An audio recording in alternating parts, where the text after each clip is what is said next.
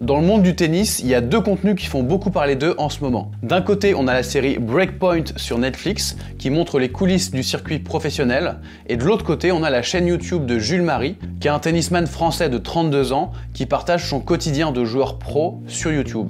Dans cette vidéo, je vais vous expliquer pourquoi je n'aime pas du tout la série Breakpoint, malgré que je sois un ultra fan de tennis. Et ensuite, je vous expliquerai pourquoi j'adore la chaîne de Jules Marie, en particulier en termes de storytelling. Et vous allez pouvoir tirer de cette analyse beaucoup de conseils précieux pour améliorer le storytelling de vos vidéos. Les joueurs sont prêts, silence s'il vous plaît, et bon match. Alors en gros, pour résumer de quoi parle cette série, ils ont voulu faire comme Drive to Survive avec la Formule 1, c'est-à-dire montrer un petit peu les coulisses du circuit ATP, montrer la préparation des joueurs, leur vie privée, les doutes qu'ils traversent, découvrir aussi leur personnalité, que ce soit chez les hommes ou chez les femmes. Donc dans l'absolu, la promesse est assez intéressante parce que c'est vrai qu'au final, quand on regarde des matchs de tennis, on voit que la partie visible, sportive, victoire ou défaite, mais on voit pas tout ce qu'il y a derrière. Et d'ailleurs, moi j'ai beaucoup aimé la série Drive to Survive en Formule 1. Euh, je ne suivais pas du tout la Formule 1 et ça m'a beaucoup plu de suivre un petit peu tous les enjeux entre les différentes écuries, entre les pilotes, les périodes de préparation entre les grands prix où on les voit avec leur famille ou alors en train de se préparer euh, physiquement en salle de sport mais j'ai pas du tout eu la même impression avec Breakpoint. Alors peut-être que c'est parce que je connais super bien le tennis et forcément j'ai une exigence plus élevée parce que bah, je connais les moindres détails de tout ce qui s'est passé dans la saison, mais pour moi ça marche pas pour plusieurs raisons que je vais vous détailler. La première, c'est qu'ils ont fait un gros plan sur certains joueurs qui ne sont pas les plus importants. Euh, le cas le plus parlant, c'est le tout premier épisode de la série qui se concentre sur l'Australien Nick Kyrgios, qui certes a fait certains bons matchs dans la saison 2022 quand ils ont fait le tournage, mais il a jamais été mieux classé que 15e, et surtout par la suite, il a complètement disparu des terrains pour des raisons X ou Y, mais euh, ce qui fait qu'aujourd'hui, il est plus du tout classé parce qu'il a plus du tout joué depuis plus d'un an. Donc en fait, on regarde une série qui est censée donner envie au grand public qui ne suit pas forcément le tennis à l'année de le regarder, et bah là, le joueur qui est mis en avant, il fait plus de matchs, donc on peut pas le suivre. Et c'est valable pour la plupart des joueurs qui sont mis en avant dans toute la saison 1.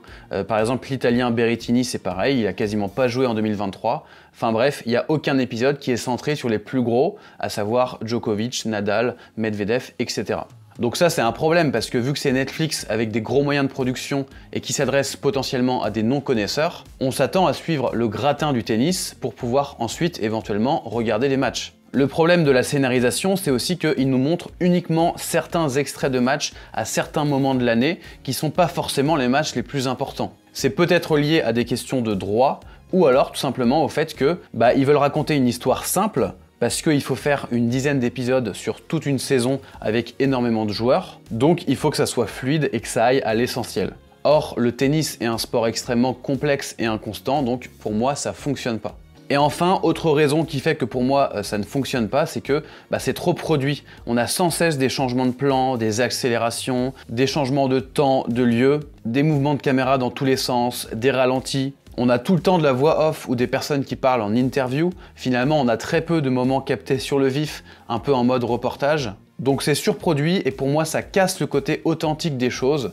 J'arrive pas à me connecter aux joueurs et à ce qu'ils nous partagent. Je vous dis souvent que le matériel et la technique, c'est pas ça qui compte dans le storytelling. Et bah là, pour moi, c'est un exemple parfait parce que ils ont le matériel euh, dernier cri euh, le plus cher possible, avec la technique parfaite, les plans parfaits, le son parfait. Mais pour moi, euh, c'est trop et ça fonctionne pas.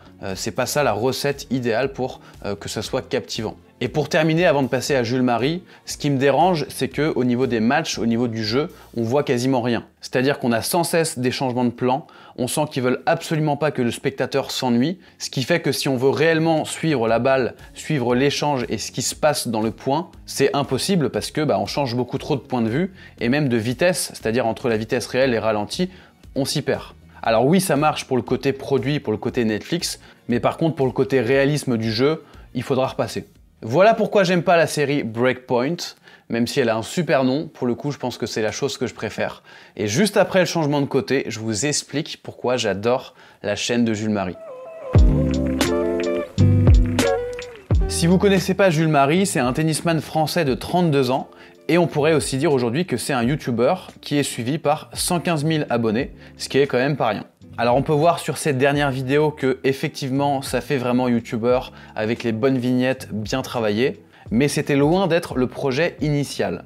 En gros, pour représenter rapidement les choses, Jules avait décidé de quitter le circuit ATP en 2015. Donc le circuit ATP, c'est le circuit professionnel. Parce que tout simplement, il n'arrivait pas à rentrer dans ses frais. Malgré le fait d'être le 230e joueur mondial, et eh ben en fait, il pouvait pas gagner sa vie grâce au tennis. On sait que c'est un sport qui est très compliqué financièrement, où en gros, il n'y a que les 100 meilleurs joueurs du monde qui peuvent en vivre complètement. Donc Jules a décidé de continuer uniquement les tournois français, et à côté de ça, pour gagner sa vie, et eh bah, ben, de devenir coach de tennis. Il a créé avec son frère jumeau qu'on voit ici à droite, Arthur, The Court, qui en gros était une école de cours particuliers de tennis sur Paris. Sauf qu'en 2020, au moment du confinement, eh bien, bien évidemment, il ne pouvait pas continuer cette activité. À ce moment-là, Arthur a décidé de créer une chaîne YouTube pour continuer à donner des conseils de tennis, mais en ligne cette fois-ci. Et c'est pour ça que si on regarde la chaîne de Jules Marie et qu'on regarde les plus anciennes vidéos, eh ben en fait, on voit que c'est des vidéos euh, d'Arthur qui donnait des conseils très simples de tennis, comme comment améliorer son service à la maison. Sur toutes les premières vignettes, on voit uniquement Arthur, qui était peut-être plus à l'aise pour faire des vidéos, jusqu'à un moment où on voit apparaître Jules également, comme dans cette vidéo justement, où voilà, ils donnent des conseils tous les deux sur comment performer au tennis. Et à un moment, Jules s'est mis à faire des vlogs sur la chaîne pour partager tout simplement euh, ce qui se passait dans sa vie de joueur. Euh, par exemple, ici, quand il était sparring partner à Roland Garros. Sur les formats des premiers vlogs de Jules, on était vraiment sur quelque chose de très spontané, filmé en face caméra avec euh, le téléphone tenu à la main. il tenait son micro-cravate filaire à la main aussi. Ça, je, ne sais pas pourquoi, mais il a fait ça pendant longtemps. C'était, voilà, je sais pas, visiblement, il aimait pas le clipser directement sur son vêtement. Et il portait même un masque pour vous dire à quel point c'était euh, spontané et authentique. En fait, si je vous raconte tout ça, c'est pas parce que je suis un fan absolu de Jules, mais c'est juste que je trouve que le storytelling est parfait, à la fois dans les vidéos actuelles qu'on va voir juste après, mais aussi dans la genèse du projet, dans la façon dont il a amené finalement le fait de partager sa vie de tennisman. On arrive au moment charnière de ce projet, je crois que c'était fin 2021. Et Wakers, j'ai une annonce particulière à vous faire. Je vais reprendre le circuit ATP, c'est fait, c'est décidé. Arthur, donc euh, mon frère jumeau, est en train de m'aider à trouver des financements. Comme vous le savez, ça coûte un bras, cette histoire. Donc déjà là on a quelque chose d'intéressant, c'est qu'il vient se confier auprès de ses abonnés sur sa décision de reprendre le circuit professionnel. Donc il y a un certain risque à venir faire ça parce que bah, ça se trouve il va se blesser, ça se trouve il va pas réussir, euh, ou en tout cas il va avoir que des défaites. Donc c'est un énorme risque de dire comme ça je reprends le circuit ATP, surtout à 30 ans, euh, ce qui est quand même un âge relativement avancé euh, dans le tennis. Donc finalement, en tant que spectateur, on se sent dans la confidence face à quelqu'un qui prend un risque, qui se montre vulnérable. Et ça, c'est hyper agréable. Et juste après, il dévoile les coulisses sur comment il veut que les futures vidéos soient créées. On veut plus faire ça sous forme de vlog comme je fais tout de suite avec euh, mon micro. On veut vraiment faire un peu euh, comme euh, sur Netflix, Michael Jordan ou encore Formula One.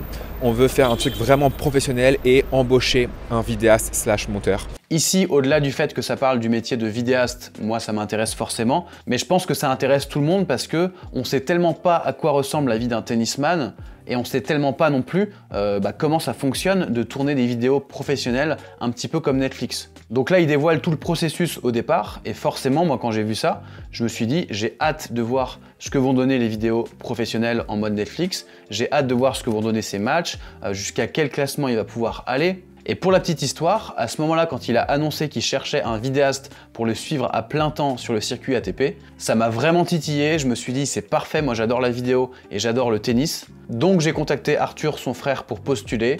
On s'est appelé et on a conclu tous les deux que effectivement ça me correspondait pas parce que j'ai déjà mon entreprise, j'ai des formations qui me prennent pas mal de temps, donc je pouvais pas me consacrer à 100% à Jules. Au final, il a recruté un super vidéaste qui s'appelle Baptiste, et maintenant on va pouvoir analyser le storytelling des vlogs actuels.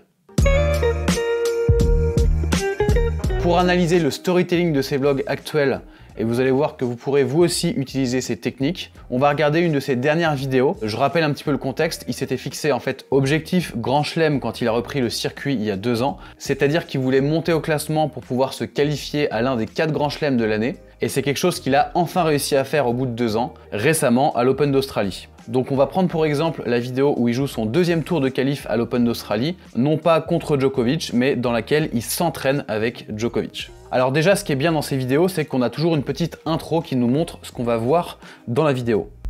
Donc on est en Australie, voilà, on voit un match de Jules avec un bout de score. puis un entraînement avec Djokovic, et effectivement Djokovic qui dit le fameux Salut les breakers. Salut les breakers, donc c'est voilà, c'est un peu la, la phrase fétiche de Jules. Effectivement, il appelle ses abonnés les breakers parce qu'au tennis, on parle souvent de break et au final, c'est devenu sa marque de fabrique. Ça peut paraître un peu cucu, mais moi je trouve ça hyper intéressant parce que maintenant on identifie le terme breakers à Jules Marie. Donc ça crée une communauté encore plus marquée. Il y a un côté un peu lien affectueux entre Jules et les breakers. Et le fait que Djokovic dise salut les breakers, on se dit bah déjà il a joué avec lui et Djokovic a parlé face caméra, mais en plus il prononce le terme breakers, ça crée un sentiment de proximité avec Djokovic. Donc c'est super bien vu d'avoir fait ça et de l'avoir mis dans le teaser d'intro. Ensuite, après le teaser d'intro, on a le générique de début qui est toujours le même. Donc là, pour le coup, ça fait très Netflix, comme le générique d'intro d'une série Netflix. Ça permet d'identifier encore plus les vidéos de Jules, euh, surtout que là, dans le générique, on le voit, on voit son visage. Moi, je suis pas toujours fan des génériques d'intro, euh, surtout pour les vidéos qui sont relativement courtes, parce que je trouve que ça casse un peu le rythme, et le fait de mettre tout le temps un générique d'intro qui est tout le temps le même, bah, je trouve que ça perd, son intérêt, ça perd en créativité. Là ici on est sur des vidéos qui durent euh, ici 21 minutes, ça permet de bien rentrer dans la vidéo, on se pose tranquille et surtout on voit Jules et son visage. Donc il faut vraiment qu'il y ait de l'humain dans un générique comme ça, parce que sinon s'il y avait par exemple que du plan drone, on s'ennuierait. Et voici comment démarre l'épisode, vous allez voir il y a vraiment tous les ingrédients. Donc déjà on commence par un plan drone, un beau plan drone où on voit Melbourne et on affiche où on est, Melbourne en Australie. Donc ça c'est vraiment un plan de contexte qui est primordial quel que soit le contenu. Hein. Ici je vous parle de vidéos de sport, mais sachez que les conseils peuvent s'appliquer aussi à d'autres types de vidéos. Donc on présente le contexte, ensuite un deuxième plan drone euh, un peu plus serré, là pour présenter cette fois-ci le contexte de l'Open d'Australie. Et ensuite on va aller sur du plan de plus en plus serré, mais qui continue à présenter le contexte. C'est-à-dire là on est sur le cours 20 euh, à l'Open d'Australie, on voit les balles de l'Open d'Australie et on arrive sur Jules. Donc en termes d'image, c'est un démarrage parfait, on part du plus large pour arriver au plus serré sur euh, notre sujet. Maintenant, on va analyser ce qui se passe en termes de son. On démarre avec uniquement de la musique. Salut les breakers Et on entend rapidement Jules qui nous dit Salut les breakers. Pour moi, ça c'est la plus grosse différence avec Breakpoint, et c'est l'atout majeur des vidéos de Jules, c'est qu'il parle en face caméra. Mais il parle en face caméra, pas euh, dans un studio de tournage à la fin de la journée ou à la fin de la semaine d'une manière posée avec du recul sur les événements. Il parle vraiment pendant que ça se passe. Donc là, il est sur le cours d'entraînement et il nous explique ce qu'il va faire. Donc là, entraînement avec Terence Satman, euh, un Français qui est 100 ah, je sais plus, 140 mondial on va dire. Donc demain j'ai eu la prog, je joue en première hôte à 10h sur le cours numéro 13. Donc ici encore une fois il nous partage les infos au fur et à mesure qu'il les a. Et ça, ça nous donne vraiment l'impression d'être avec lui en Australie, comme si on était dans son sac à dos, et qui nous disait au fur et à mesure euh, les infos qu'il reçoit et ce qu'il en pense. Alors que s'il nous faisait une analyse bilan à la fin de la semaine avec du recul, on se dirait ok c'est bien mec, t'as vécu un truc de ouf, mais j'étais pas là, j'étais pas inclus euh, dans l'aventure. Ensuite, il nous explique qui est son prochain adversaire. Contre, euh, contre, contre, contre, contre le Suisse. C'est quoi? Contre le Suisse Richard. Et là, c'est fait tellement spontanément qu'il a carrément oublié le nom du gars, et c'est Baptiste le vidéaste qui doit lui rappeler. Et ça, c'est génial qu'il l'ait laissé au montage parce que on se dit, ok, on est vraiment avec lui là. Il n'a pas fait une mise en scène où il présente les choses d'une manière complètement lisse et épurée. Ensuite, il nous donne des indications sur comment il va jouer son adversaire, parce qu'il le connaît déjà, il a déjà fait un match contre lui, d'ailleurs on voit les images. Euh, il tape très très fort, gros service, gros coup droit, et revers euh, solide et, aussi puissant, mais moins qu'on voit quand même, donc faudra aller chercher le revers je pense. Je trouve que c'est hyper précieux parce que on n'a pas accès en général à ce qui se passe dans la tête d'un joueur en termes tactiques, et encore moins ce qui se passe avant le match. Là, il se dévoile, il prend le risque en plus que ses futurs adversaires comprennent la façon dont il prépare les matchs, Bien sûr, les vidéos sont diffusées après les matchs, mais quand même, euh, c'est fort appréciable. Justement, en ce qui concerne les matchs, alors je vais pas analyser tout en détail parce que ça serait trop long, mais en gros, on a aussi des séquences musicales avec juste Jules qui se prépare, qui réfléchit. Hein. Il n'y a pas besoin de l'avoir tout le temps en face caméra non plus, c'est un subtil équilibre. Et quand le match arrive, on a déjà les infos euh, d'avant-match sur euh, justement le classement de Jules avant le match, mais surtout les infos de son adversaire. Donc là, on voit que c'est quelqu'un qui a 29 ans, qui est classé 198, donc pas très loin de Jules. Et moi j'aime bien avoir ce genre d'éléments parce que là on est dans du concret, dans des données précises. Et je trouve que ça participe aussi au contexte. Là où quand Jules témoigne en face caméra, ou alors quand on a des séquences d'illustration avec de la musique, on va plus être sur de l'émotion. Quand on a ce genre de texte à l'image, on est sur du contexte et c'est très important d'en avoir aussi. Tout comme le score du match quand le match commence. Par exemple, dans Breakpoint sur Netflix, on ne voit jamais le score du match comme c'est diffusé à la télé. Je pense dans une logique d'esthétisme avant tout. Ils mettent juste le score à la fin de la séquence, mais moi personnellement, ça me perd. J'ai envie de savoir à quel moment du match on est. Ici c'est le cas, et pour ajouter du storytelling aux séquences de match, ce que fait Jules dans ses vidéos est super intéressant. Alors là, ils l'ont pas fait pour l'Open d'Australie, je sais pas pourquoi, parce qu'apparemment, ça a été compliqué d'avoir les droits des images vu qu'on est sur un grand chelem. Par contre, ce qu'il fait dans la plupart de ses vidéos, c'est qu'il va commenter en voix off ses matchs comme s'il les découvrait en temps réel comme un commentateur. 0,30 là en danger. Elle est passée ses premières. Là, je pousse la balle en revers, hein, c'est fou. Alors, au lieu de m'engager, j'ai bien servi, j'ai la balle neutre et je m'en sers pas là, c'est dommage. Moi, ce que j'aime bien, c'est qu'il n'est pas omniprésent dans son commentaire. On a le temps de regarder ce qui se passe, de regarder les points, mais il nous donne quand même des petits éléments sur comment il se sentait à ce moment-là, comment jouer l'autre. Donc, on a l'impression de découvrir le match au fur et à mesure, finalement, comme si on l'avait regardé en direct, sauf qu'on regarde juste un petit résumé condensé. Si je reviens sur la vidéo en Australie, bon là il se trouve que ce match-là, il l'a perdu, c'était son dernier match du coup euh, dans ce tournoi. Et si on avance un peu dans la vidéo, eh ben, du coup il y a le fameux entraînement avec Djokovic qui arrive. On a des petits échanges entre les deux quand ils sont en train de récupérer. J'en fais quand même, j'en fais là. Peut-être une de, de 1000, 1000 coupes. Toi t'en fais pas par contre. Je m'en compte, oui. Ça c'est bien parce qu'on est sur un format ici qui est un peu différent. On est plus sur justement euh, de l'ambiance euh, prise un petit peu sur le vif. C'est ni du face caméra ni de l'interview. Donc c'est bien aussi d'avoir des échanges comme ça qui ne sont pas euh, contrôlés pour la caméra. Et ensuite, on a un passage un peu plus classique d'interview. Euh, bon, ici, effectivement, il a la chance d'avoir Djokovic, mais dans d'autres vidéos, il peut avoir des joueurs un peu moins connus. Mais c'est toujours sympa d'avoir un échange entre Jules et un autre joueur bah, pour avoir encore plus d'infos sur le circuit ATP. Merci beaucoup, c'est gentil. Merci, merci à vous. Ce que vous pouvez en tirer pour vos propres vidéos de tout ça, c'est que moi, mon principal conseil pour avoir un bon storytelling, c'est qu'il y ait de la narration humaine que ça soit raconté par un humain. Ça passe soit par de la voix, donc du face caméra, de la voix off, de l'interview, ou alors des ambiances prises sur le vif, mais le storytelling, ça passe aussi par le texte. Donc ici, dans cette vidéo, on va avoir par exemple au tout début euh, l'endroit où se passe la vidéo. Juste après, on va avoir la date et l'heure. Ça peut être des informations plus techniques, vu qu'on est sur du sport, le score du match, mais également à la toute fin de la vidéo, un truc très intéressant, c'est que il refait un face caméra euh, dans l'aéroport pour faire un petit peu le bilan euh, de sa tournée australienne, et il va dire précisément la somme qu'il a dépensée, donc 2250 euros, et la somme qu'il a gagnée, à savoir 26 800 euros. Donc ça nous permet à nous, qui ne sommes pas du tout des sportifs professionnels, on est dans notre canapé avec une vie qui est opposée à la sienne, bah, de comprendre concrètement quels sont les montants. Donc vraiment, dans vos vidéos, insérez un maximum d'éléments narratifs qui vont venir prendre le spectateur par la main. Et entre tout ça, bien sûr, c'est important d'insérer des séquences avec que de la musique et des images d'illustration. Ça permet d'avoir des respirations, et c'est ce que je reproche d'ailleurs à Breakpoint sur Netflix, d'avoir beaucoup trop euh, de passages avec de l'interview, tout le temps de la voix off. Je trouve que le rendu est assez oppressant. Voilà pour cette analyse. Désolé, j'étais un petit peu long, mais franchement, j'ai trouvé ça passionnant. Jules, si tu passes par là, bravo pour tout le travail accompli sur ta chaîne et sur les cours, bien sûr. Bravo à toute ton équipe et j'espère que tu vas réussir à te qualifier en Grand Chelem cette année. Pourquoi pas à Roland Garros. Quant à vous, mes chers. euh, Ah, je vous ai pas donné de nom. Mes chers filmmakers. Ah non, en fait, je déteste ce nom. Si vous avez envie de recevoir d'autres conseils de storytelling de ma part, sachez que je partage tout ça dans ma newsletter Les coulisses. Vous avez juste à cliquer sur le premier lien qui est en description. Allez, j'ai toujours rêvé qu'on dise ça. Jeu 7 et match. Mandat.